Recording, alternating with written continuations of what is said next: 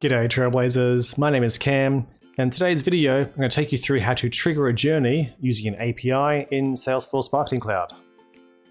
Now there are heaps of ways to get your subscribers onto a journey. I covered some of these in my previous Journey Builder video. But for today, we're going to focus on the API method. Now if we jump into the REST documentation in Marketing Cloud, we can find the interaction for Fire the Event. It's a post call that allows us to trigger a record or a payload of information onto a pre-configured journey. As you can see here, we provide our subscriber's ID, the event definition ID, and a payload of data to send through that event into the journey. So let's start building the things that we need to trigger this journey for ourselves. First thing we have to do is to make a data extension to put this information into. To start with, I'll go into one of my folders and just go create and make myself a brand new data extension. Now I like to use the template for this one. I like to use the uh, triggered send definition template. So I'll choose that one and go OK. This way it has some pre-configured fields. I'm going to call this one my journey API and I'll go next. The cool thing is here, the subscriber key and email address are pre-filled. So you can leave those I'll make some new fields. Let's make a name field and a other field. I'll make those ones nullable for now. Subscriber key on subscriber key. Perfect. I'll go create. So this data extension is going to be the data extension that all of the data goes into that comes through this API call into Journey Builder. So with the API complete, let's now jump into Journey Builder and make a few things in there as well. So the first thing we need is a brand new journey. So I can jump in and go create new journey, make a brand new multi-step journey. Once the journey loads, I can jump in and choose an API event as my entry source. So I'll drag and drop an entry event and click on the tile. Now currently I've got no entry events currently made, so I can create a brand new event. Now for the event, I'm going to call this one my journey entry API. And here is my event definition. I can choose the data extension for the data to go into. So I'll select data extension and navigate to my newly created DE. There it is there, and go summary. Now I could put some filtered contact information here as well to make sure only certain contacts come in, but for now I'll leave this one as blank, which means all records that come into this API will enter the journey. So I'll go done. That's now my API created to bring records in.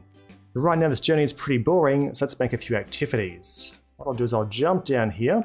I'm going to make an update contact. It's a nice easy activity. I'll drag and drop that in.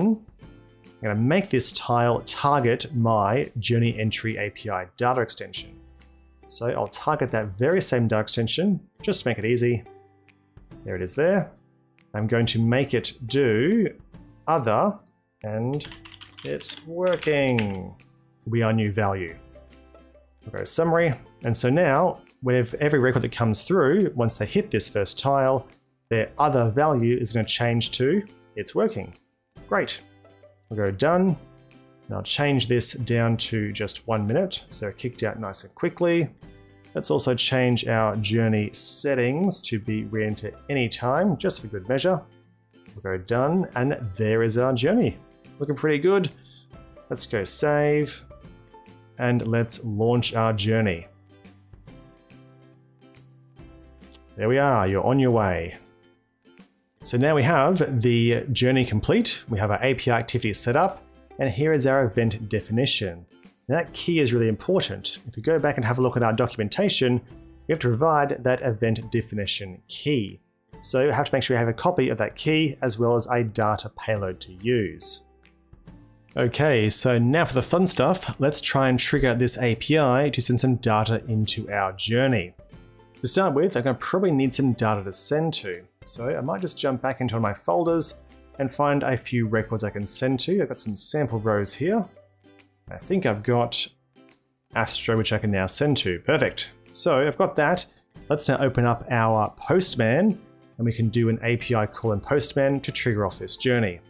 I've got myself access to the Salesforce Marketing Cloud APIs. I'll put a link in the description below so you can download this Postman package for yourself. You can have a look at the Fire Entry event in the interactions under Journey Builder to try that for yourself. I have jumped in and configured this already in Postman. There's heaps of resources online to show you how to do this, so I'll jump straight into the payload for this call. I need to fill in these values to make this call. So for my contact key, I'm going to send this journey to Astro today. So I'll use Astro's ID and jump in and send that as the contact key. Now contact key again is going to be the subscriber key for your record, so make sure you have that as the correct value. In my data extension, I've also got subscriber key as a value, so I'll put the same value there. My next one in my payload is email address, of course, because I was doing the, uh, the data extension send. So I've got Astro's email address, perfect. I'll jump back into Postman and paste that in there. The thing is though, is that my data extension had some additional fields. If I jump back into my data extension and check out my Journey API, I had two more fields, name and other, both text fields. Now they are nullable, so they're optional, but for this example, let's go and put them in. So I'll do a comma, then to my next value, and name is going to be equal to Astro. There we are. And below that, I have one more field which was other. And for other, I'm going to put uh, this is cam. There we are, that'll do. So that is my payload for my journey. Subscriber key, email, name, other. Subscriber key, email, name, other. Perfect. I've got my event definition key. So I can grab that from my activity here, event definition key, copy that, go back into Postman, and there is my definition key.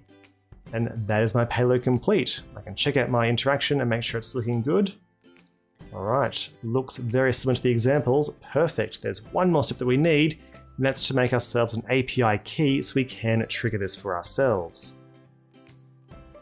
Okay, so I've jumped into my Salesforce setup and I've gone into my installed packages and made myself a brand new demo key.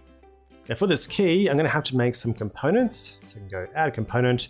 I'm to choose an API integration, not the Journey Builder entry source. So API integration and next. I'll then choose the server to server integration and go next.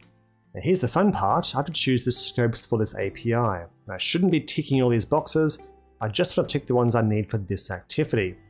So I'll show you a cool trick. What you can do is go into the documentation for the API call and copy the location of the call. You'll see it's interaction v1 events. You see the same thing in the post information here.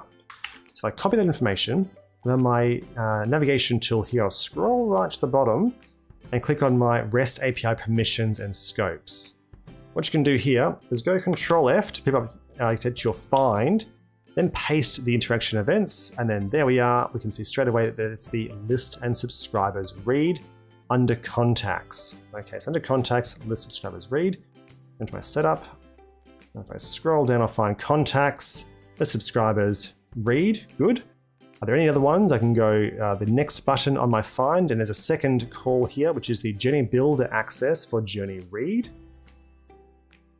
So I'll find my automation journeys and my read journeys as well. Those are my two requirements. I'll check once again. I've got journey read, list subscribers. Journey read, list subscribers, perfect, that's it. That's my key set up. I can go save. And so here's my API credentials, which I can use for my call in Postman. Okay, so I've put my credentials into the Postman configuration for this API and I'm ready to go. My payload looks complete, and so I can then go send. Let's see what happens. Event instance and my status of 201 created. Perfect. So it looks like the result uh, completed successfully. Let's go back into Journey Builder and check it out for ourselves. We're done. And hopefully I can now click on the view entry results and there we are. There's my one record. I can also jump back into my data extension. I can check the records tab. It says there's zero records right now. If I click on records, I'm hoping I'll have, there's my record. Now here's the cool thing, it says it's working. I'm pretty sure my payload said this is cam. The reason it says this is working is because back on my journey I had that initial step which said, and there you go, it's completed, which was to update the record to say this is working. So that's all good and well that we can trigger the journey using Postman. How about trying to trigger it with some SSJS on a cloud page? So I started off by making my usual cloud page testing. I've got a cloud page which is referencing this content block by ID. Got my test code which I've saved, and so I can quickly refresh my page, and there's my test code. So to start off with, we need to get some of the SSJS functions that we need to make this call. Now luckily, I've got a blog page already about doing some quick starts for the OAuth 2 access, I've got the SSJS function in here as well. So I'll skip past the AMPscript and here's going to be my SSJS call for getting an auth token in Marketing Cloud. So let's copy some of that text and we'll jump back into my content here and let's paste in our auth code. So I need some credentials from my uh, new API. So I'll jump in. Now you shouldn't do this normally. You should definitely encrypt your client ID and secret. But for this example, I'll use it as plain text. And don't worry, I'm going to delete this key once I do this video. So I've got my client ID and client secret. I also want my auth URI, so I'll copy that as well. And I want my auth URI there. Okay, so there is my token call. So I should be able to use this to return back my credentials. Uh, it should hopefully respond with my token and the payload. I might just use a line break to break those up. I should see my token at the end. So let's try that for ourselves. I'll go save and refresh our page. And there we are. We've got an access token coming through. Perfect. So with our token working, let's now go back into our code and make our actual call to our post endpoint for the fire event. So for this one, we can probably reuse some of this code. We can take this piece here, which is our post call, and go down a few lines and do our new call. And this will be our fire event. The fire event, we're going to use a different URL, of course. We're actually going to be using the REST instance URL, which I've got a value for here. We're going to add something to it. We need to add the actual address for this call, which is the interaction events, that one there. So that plus interaction events. It's JSON payload, yes, and I need to make a new payload. This will be the journey payload. Journey payload, which I should set above. The payload, luckily for us, is going to be the same as the payload we used in Postman. So I can copy this payload, go back into my content, and paste it straight in. So I can use that value. There we are, close it off, and there it is. What I might do, I'm not going to use Astro this time, I'll go Cam, that'll do. Name will be Cam, and this is Astro. So what we'll now do is hopefully this will fire. We have to provide some additional headers though for the interaction. We have to provide the authorization and the bearer token. So I'll copy those values down. To do this, I need to make two more ordinals in my post call. It's the header value, uh, the header name and header value. So the header name is authorization. So I believe we have to do it in square brackets actually. Authorization, and it's going to be bearer like that in square brackets, bearer, and then we have to add the access token. The access token we have just here as access token. Perfect. So now our application JSON will hit that event up. Have stringify payload. We're using the authorization of bearer and token. Perfect. Once that's all done, we need to get the output. Now the output's going to be a string. So what I can do is I'll do another write function. I'll use stringify. My stringify is going to be of the request that we just performed.